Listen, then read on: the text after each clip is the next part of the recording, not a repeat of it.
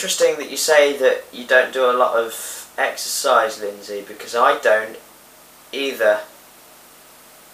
I ah I I look I've got like no muscles. I I just I don't exercise. So yeah, I know I know what you mean. Favorite word. Um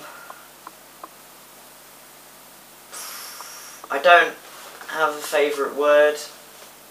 Ace. I think that's my favourite word. Ace.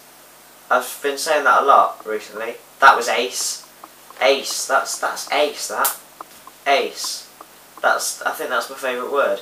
After I've done this video, I guarantee that I'll sit down and go, should have said that word, but you guys, It's too late now. I've done the video and I'm editing it. My favourite book character. Well, look over to my shelf of books and realise that most of them are autobiographies. I don't know. I characters. Oh, uh, they're all all the books I have are just like fact books, encyclopedias, Guinness World Records, autobiographies, and Harry Potter. That's basically all I've got. Joke books because I'm just so funny.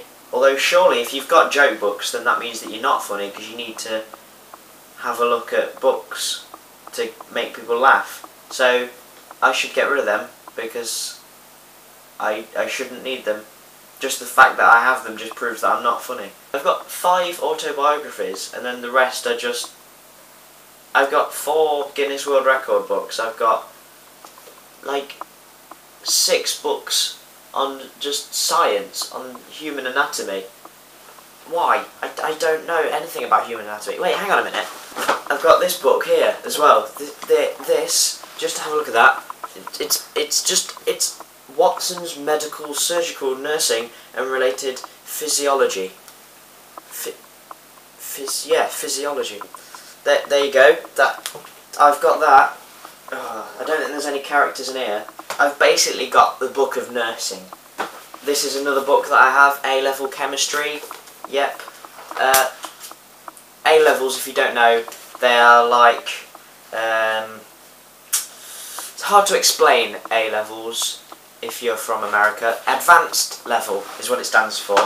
Um, it's a qualification that you do. It's a, a learning qualification.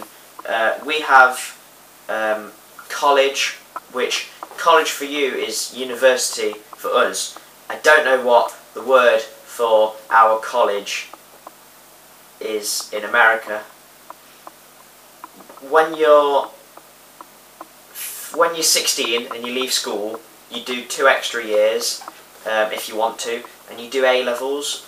Um, that's what I'm going into in September. I'm not I'm not studying chemistry. No, I'm, I'm not studying chemistry, but I've got a book of it just in case I wanted to have a look about some... I've dropped the past papers. What I'm getting at is that I don't read a lot of actual novels with characters in.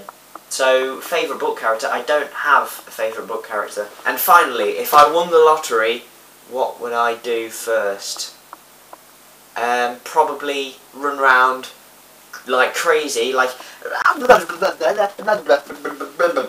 and I wouldn't be able to say any words. I, that, I, that's what I'd do. That's the first thing I'd do. Um, make a list is probably what I'd do. Make a really long list of what I'd like to do, and then do the opposite. So, first thing on the list, give to charity.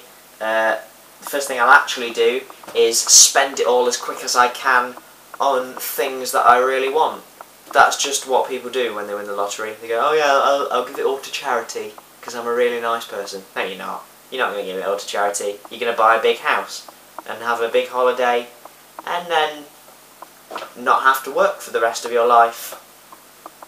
That That's normally what would happen.